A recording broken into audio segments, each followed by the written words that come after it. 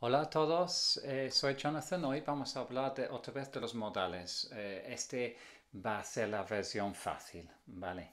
Eh, solo para repasar lo que hemos estado haciendo, em, os estoy intentando explicar cómo toda la gramática en inglés, la gramática de los verbos por lo menos, se puede incluir en estas cuatro familias, esos cuatro pilares, ¿vale? Do, be, modales y have. el otro eh, en, el vídeo anterior hablamos de los modales y era bastante complicado porque hay mucho que hacer. Entonces hoy voy a hacer una serie de vídeos para ayudaros a entender eso un poquito eh, mejor, ¿vale? Eh, estos son los modales, básicamente. can, recuerda que los modales no cambian nunca, es como un trozo de Lego que pones en la frase, pero no tiene, no lo pones un S, no lo, no lo pones en el pasado, digamos. Esos son los significados. I can swim, puedo nadar. Could you help me? ¿Podrías ayudarme? O si no, en el pasado. En el pasado. Eh, yesterday I couldn't come. Ayer no podía venir. You should study more English. Deberías estudiar más inglés. Mi opinión, ¿eh? no estoy imponiendo. Must. You must. Uh, you mustn't. No debes. Um, uh, speed. No deberías. No debes. No debes, lo digo como policía. Pasar eh, de velocidad. Um, will, won't. Mm, un futuro. Que opino yo, ¿vale? Que decido yo, no está que esté planeado, mm, eh, pero yo... Eh, tomorrow, eh, England are playing Brazil. Are going to play Brazil. Eso está fijo, ¿vale? Pero I think England will win. Yo creo que Inglaterra ganará. Yes, this is will. Might. I think England might win, que sería más realista. Igual. Would, lo más fácil del mundo. Ia. I would like a sandwich. Uh, if I were an animal, I would be a cat. Si fuera un animal, sería un gato. Y shall, hacemos tal cosa. Eso lo vamos a mirar en otro, en otro vídeo. ¿Vale? Have to, que lo, sé que lo estudiáis mucho como, como modal. Have to para mí está en la familia de los... Ah, ¿dónde estamos? De la familia de los do. I have to work tomorrow, tengo que trabajar mañana, pero no ves que ahora eh, se lleva el. She, ella, o Sarah has to uh, study. Tiene que estudiar. No es un modal, pone S. Es de do. I don't have to work tomorrow. She doesn't have to tell you anything. Ella no tiene por qué decirte nada. Ese do, es la zona del do, no son modales. Modales no usan do. No sé por qué explican las cosas así. A mí me parece más complicado. Vamos, vamos para allá. Vamos eh, con estas reglas. Esas son lo que vamos a hacer hoy. Vale. Eh, igual dejo esto... Bueno, vamos a hacer esto rapidito. Vale. Eh, you can. Reglas para clase, ¿vale? Una clase de... Eso es una clase que tengo para más para niños que para adultos, pero os vale perfectamente también. Tú puedes, tú debes, tienes que, lo digo como profesor imponiendo a unos niños, debes hacer esta cosa, ¿vale? Debes, tienes que, eh, básicamente son lo mismo. Must es más fuerte, es más imponente. Debes, tienes que, ¿vale? No debes, no puedes. Básicamente es lo mismo en este contexto. Y no tienes por qué. Recuerda que have to no es un modal, se usa do, se pone s en tercera persona, él o ella, eh, pero lo usamos aquí también en ese contexto. No tienes por qué. Have to es lo mismo que need to. Tienes que hacer algo, necesitas hacer algo, ¿vale? No, don't o doesn't o doesn't no tienes por qué eh, tienes que hacerlo, no necesitas hacerlo, ¿vale? Si alguien te dice, no tienes que hacer eso, no te están prohibiendo, te están diciendo que no es necesario, ¿vale? Entonces vamos a hacer con una frase, have fun en clase, ups, have fun en clase. Em, ¿Dónde lo ponemos? ¿En, ¿En qué columna? Pues, vale, aquí, sorry, have fun, vale. Puedes have fun, digo yo, ¿no? You can have fun, ¿vale? Ah, no sé dónde estamos con have fun. Este, vale. Uy, qué manía tengo yo de poner las cosas en mal orden. Bring to front, vale. Have fun, digo yo que es este, ¿no? O este. Bueno, no sé, voy a poner este mientras tanto. You can have fun. Creo que ese es play games, vale. vamos en orden aquí mejor. Vamos con esta chica. Em, ¿Cuál es la frase? Pues la frase, intenta mirarlo tú y em, damos, eh, dale al pause, eh, pause, pausa si, si, necesitas tiempo, ¿vale? Y ahora te doy la, respuesta. Esto me parece que es eh, hacer deberes. ¿Vale? Hacer deberes. Bueno, la verdad es que yo no doy deberes con mis clases de conversación. Bueno, a veces sí. Vale, vamos a decir que sí, que tienes que hacer deberes. Vale, do homework. You have to do homework. ¿Vale? Vale. Eh, este. Este. Pues la respuesta es... Dale al pause si no lo tienes ya. Be grumpy. Gruñón, grumpy, gruñón, grumpy como el, uno de los siete ananitos era grumpy, ¿vale? Eh, no, no, yo te prohíbo. ¿No tienes por qué? Mm, yo como profesor te mando no ser grumpy, eso es difícil. Va, vamos a ponerlo aquí. No debes estar grumpy en clase, no.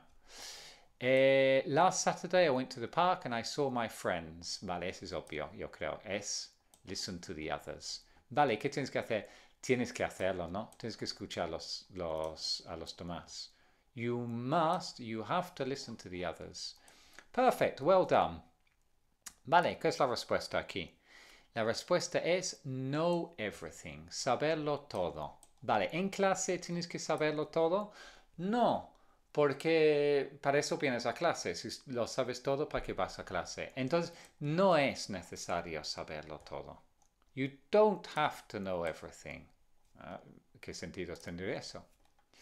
Eh, esto. Oh no, I'm late. Ah, vale, bien, bien, bien. Forget class. No debes, ¿no? No debes forget class. ¿Cómo vas a olvidarte de clase? You mustn't forget class. ¿Vale? Uh, my name is Samantha. I live in Kent. I want to be a dentist. I like horses. Uh, rice horses. Ah, horse riding. Is that the word? In my free time I usually... Vale. Entonces the answer is try to speak English. ¿Qué tenemos que hacer? You can? Nah, you must. En clase de inglés, in, in English class, you must try to speak English, ¿vale? Yo, por ejemplo, en estos, yo hablo en español ahora para explicar, pero en clases de conversación bien distinto. Yo hablo poco y os mando a hablar mucho en inglés. Vale. Um, bien. Next one. I don't understand. Can you explain? What's the difference between must and should? I can't. I don't understand. Can you explain? Very important. Very important. Ask questions. ¿Qué? ¿No debes hacer preguntas? Claro que sí. Puedes hacer preguntas. You can ask questions. You can ask questions. Natalia, eh, está preguntando a Natalia y este chico detrás dice, the answer is B. Pero el chico no es Natalia. Entonces es, la respuesta es, interrupt. ¿Y qué hacemos? You mustn't interrupt. You mustn't interrupt. Vale. Eh, esto, ah, vale, vale, vale, vale. Voy a quitar esto, los, los user phones. Um, and have fun era este.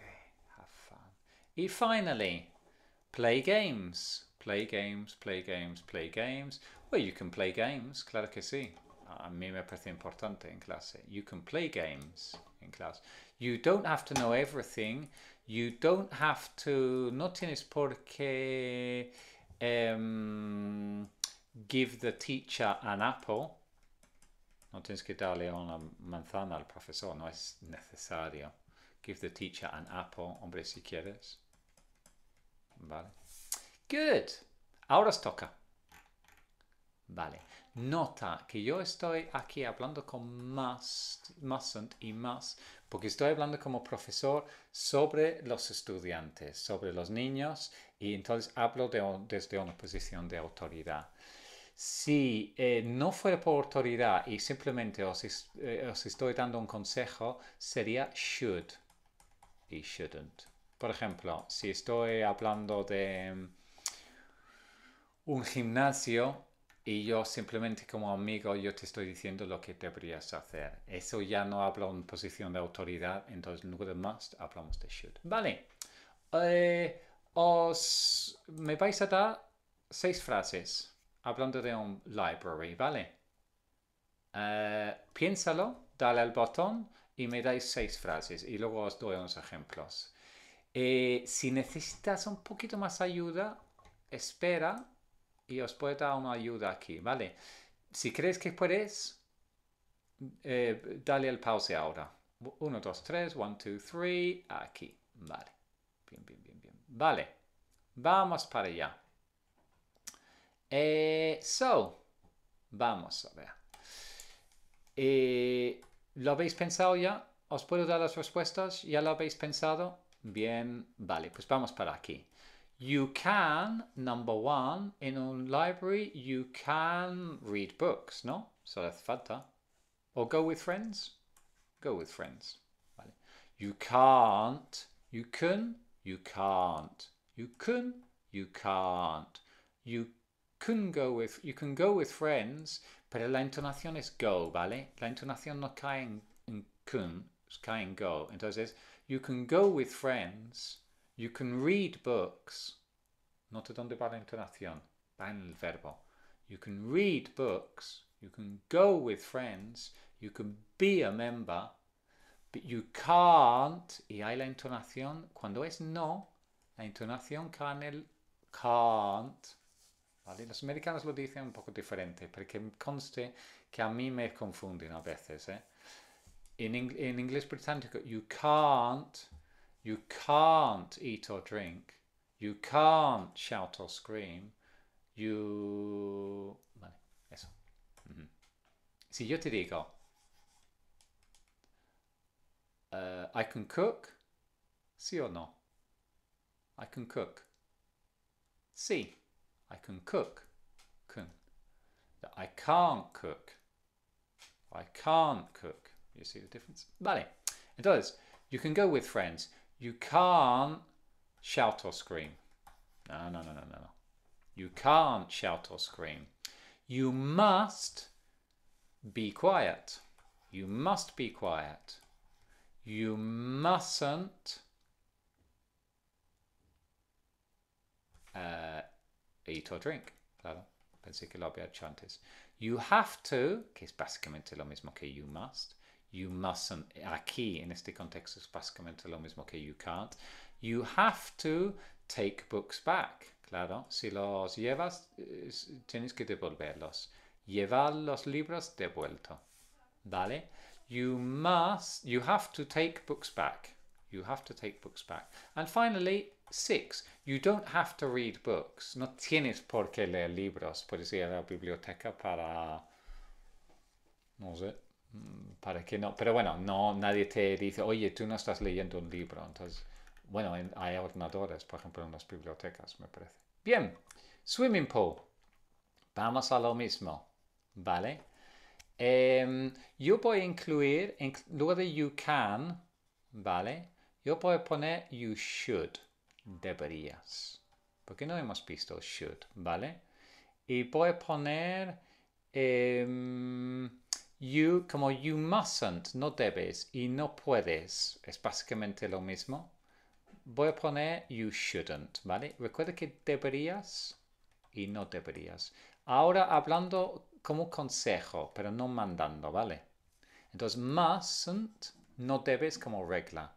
You must, debes como regla.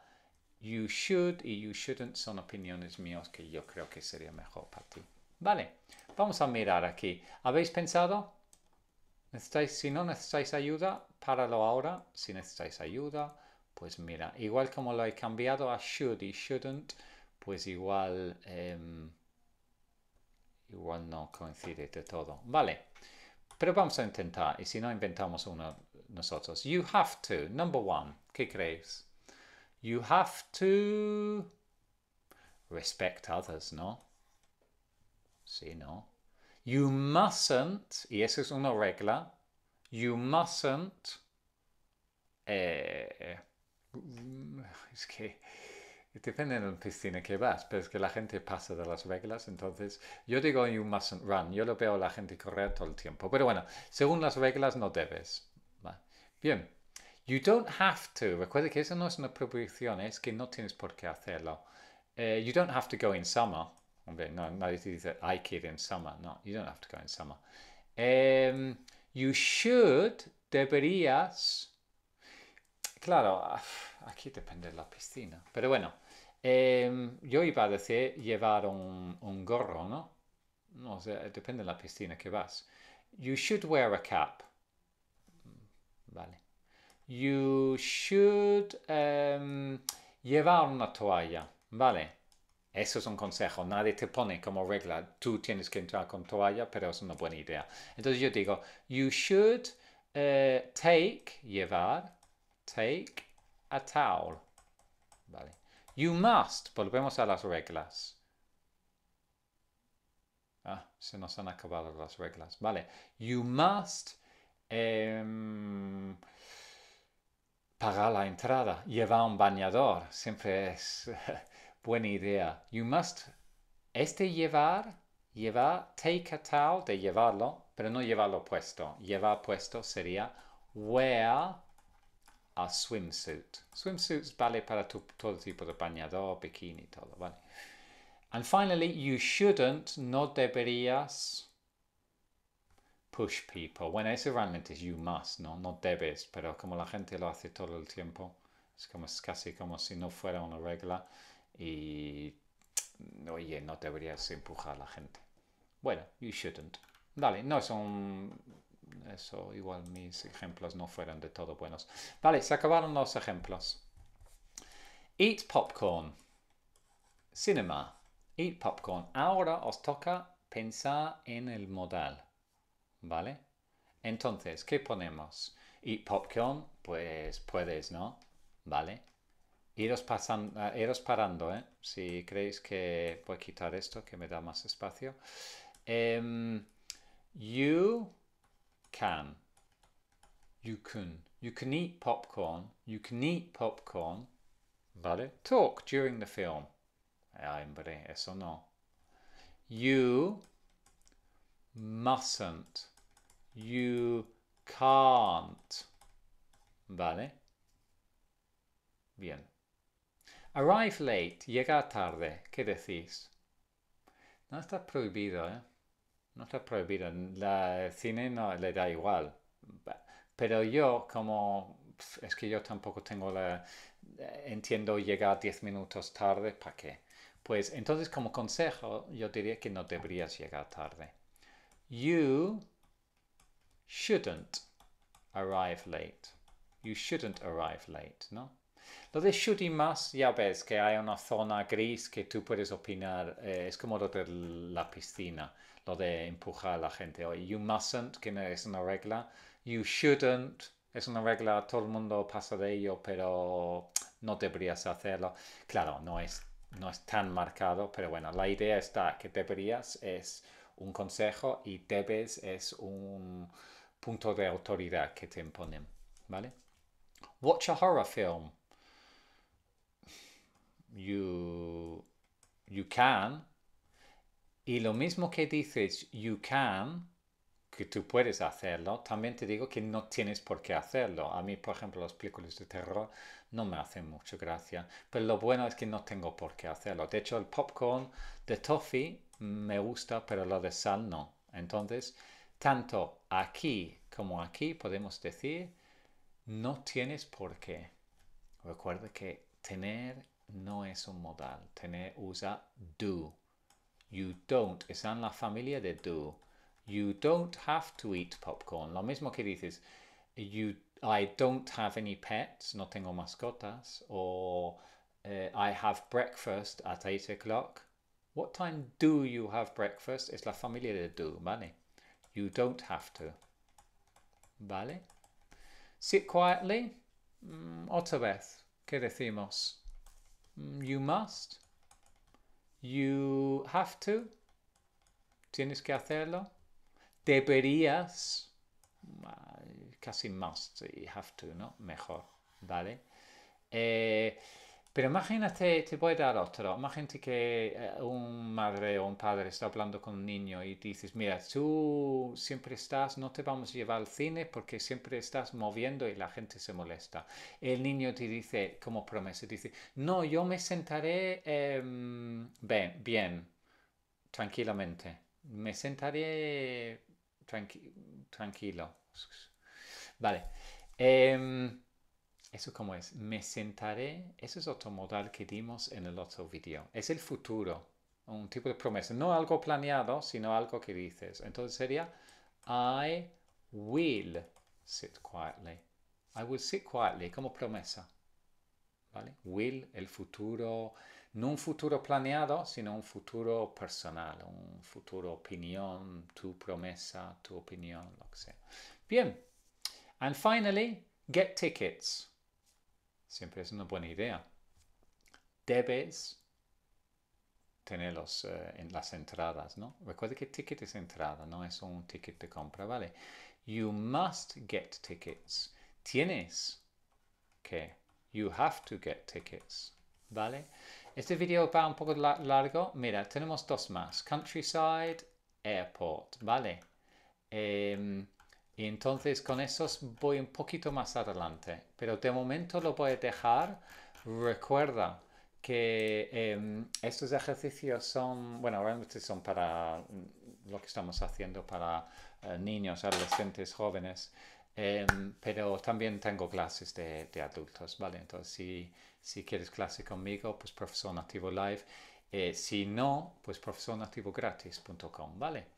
I'll see you in the next video. Os veo en la próxima video, ¿vale? Okay, bye then.